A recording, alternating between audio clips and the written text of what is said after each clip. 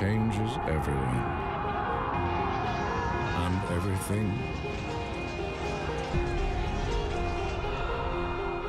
Empires will rise.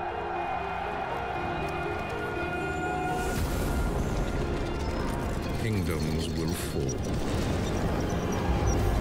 Ja bardzo lubię Age of Empires, a czwarta część to jest rzecz, w którą mam bardzo dużą ochotę zagrać. Ty grałeś całkiem sporo. E, Nie tyle, ile bym chciał, dlatego Okej. recenzja za tydzień. Też e, chcemy, żeby Paweł powrócił e, z wygnania chorobowego Tak jest. e, i żebyśmy mogli zrecenzować. E, 28 debiutuje gra, więc wrażenia przedpremierowe.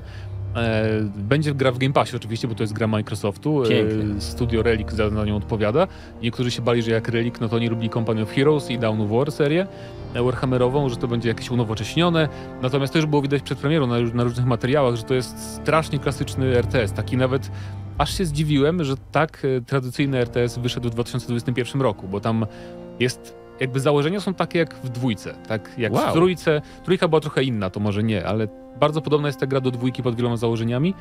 Mamy to samo budowanie bazy, mamy to samo wysyłanie skauta, żeby potem przyprowadzić owce e, pod, pod tą naszą bazę, żeby tam e, ro- robić z nich żarcie i budowanie, wiesz, wysyłanie ludzików, żeby ci zbierali drewno. To jest taki bardzo naprawdę klasyczny RTS z, z dobrze zbalansowanymi w miarę frakcjami do potyczek. Mamy tu 8 frakcji. Mhm. To jest troszkę mniej niż dwójce mieliśmy, ale one są bardziej różnorodne tym razem, bo mają więcej różnych bonusów, które modyfikują trochę im rozgrywkę. Na przykład jest jedna frakcja, która może, e, wydaje mi się, że to chyba jakaś arabska frakcja, nie pamiętam jej konkretnej nazwy, ale w każdym razie oni mogą budować e, za darmo ulepszenia takie naukowe powiedzmy, ale za to one dłużej zajmują Mhm. albo inna frakcja sobie lepiej radzi, może na przykład szybciej budować statki na morzu, co może potem wpłynąć, jeżeli mamy mapę z wodą i z konfliktami okrętów, to może wpłynąć na rozgrywkę. Czyli można frakcję dostosować sobie do swojego stylu rozgrywki? E, Raczej frakcje są konkretne, jeżeli ty Okej. masz, wiesz, konkretny, preferujesz coś, jakiś bardziej, no wiesz, jakąś strategię konkretną, to możesz sobie dobrać frakcję, która tobie bardziej odpowiada.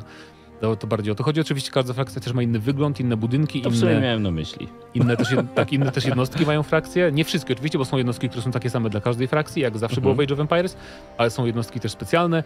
E, W potyczkach mamy różne sposoby na zwycięstwo, bo oczywiście możemy komuś po prostu rozwalić bazę, e, tak jak zawsze, ale możemy też na przykład przejąć, jest taki punkt na każdej mapie, e, Holy Site się nazywa, czyli święte miejsce. Nie ma w ogóle polskiej wersji niestety gra. E, I jeżeli utrzymamy ten punkt, to na przykład wygrywamy, e, albo możemy zbudować jakiś tam wyjątkowy budynek i też obronić go przez 15 minut i też możemy w taki sposób wygrać, więc są różne sposoby na zwycięstwa w potyczkach.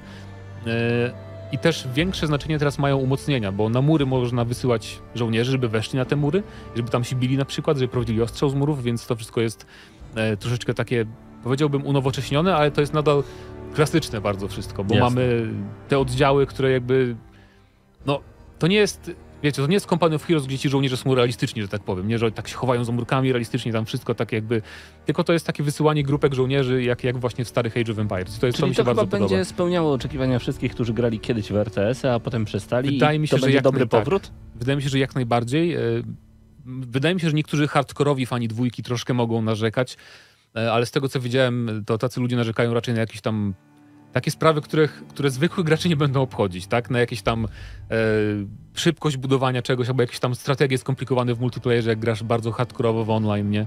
Ale kampania jest też bardzo dobra, jest bardzo fajna jedna e, kampania wprowadzająca Normanów. E, W kampaniach bardzo są fajne też takie jakby filmy dokumentalne, które mamy, mamy jakby prawdziwe zdjęcia, w sensie mamy film z normalnych, jak, jak film dokumentalny, nie? Na przykład Okej. ujęcia z Anglii, mamy jakaś tam łąka i na nią są cyfrowo nałożone jednostki tam ze średniowiecza, tak jakby duchy. I jest przedstawiona historia na przykład jakiejś bitwy, jakiegoś okresu historycznego i potem dopiero przychodzisz do misji, więc jest to też taka lekcja historii troszeczkę cała No kampania. e, chciałem o to zapytać, czy to są rzeczy jednak e, wymyślone, czy to jest fantastyka, czy to jest jednak właśnie ta lekcja historii, o której wspomniałeś? E, To jest większa lekcja historii niż, niż kiedykolwiek Age of Empires, właśnie w te wprowadzenia do misji, bo oczywiście jak misja nam przybiegnie, to nie zawsze jest jakby no tak. dokładnie wszystko przedstawione, ale same jakby założenia, na przykład wojny stuletniej i tak dalej, to można się nauczyć naprawdę całkiem e, też dodatkowych szczegółów, więc jest to bardzo fajnie opowiedziane. Gry uczą, uwaga, Gry uczą, gry tak. uczą. I też a propos kampanii, ona jest e, fajnie zrobiona, bo w kampanii bardzo rzadko mamy takie typowe misje po prostu jak spotyczek, czyli rzadko się zdarzają w kampanii misje, że zbuduj bazę, produkuj jednostki i pokonaj wroga, tylko to jest zawsze na przykład że masz już bohatera jednostkę i tam sobie idziecie gdzieś przez planszę, jakieś tam się wydarzenia dzieją, e, albo na przykład jest jedna misja w kampanii, gdzie masz turniej rycerski i bierzesz w nim udział, więc e, jest bardzo kreatywna kampania, jeżeli chodzi o właśnie to, jakie misje są dostępne, że to jest, nie jest po prostu tylko buduj tutaj, wiesz, młyn, tam kopalnię i pokonaj przeciwnika, więc... Premiera tej gry 28 października. 28 października, tak jest. E, Wydaje mi się, że naprawdę każdy powinien spróbować, nawet jeżeli ktoś nie lubi strategii, Tylko bo kampania PC. jest na tyle przystępna, tylko na PC, bo to jest jednak e, bardzo klasyczny RTS, jak powiedziałem, więc sobie nie wyobrażam trochę, jak mogliby to zrobić na padzie. Bardzo ważne jest przypisywanie jednostek do tych skrótów klawiszowych, na przykład Ctrl 1, 2, 3, 4, takie typowe, właśnie też RTS-owe. Ale muszę jeszcze więcej pograć właśnie w potyczki, żeby się nauczyć trochę bardziej tych frakcji, jakie są różnice między nimi.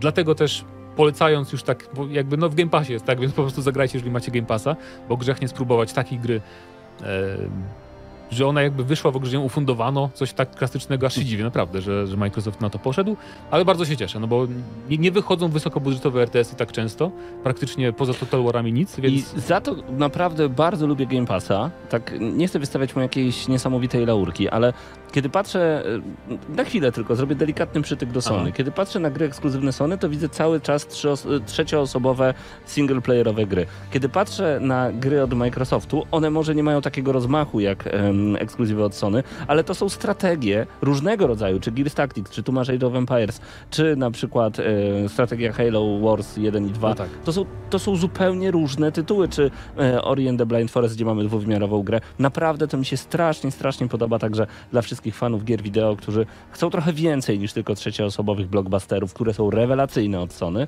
No właśnie, to jest też dobre, że z Game Passa możemy to pociągnąć. E, Tak czyli jest. generalnie polecam. Generalnie polecam, bardzo mi się podoba, natomiast e, recenzja pełna, e, bardziej wyczerpująca za tydzień. Exploration.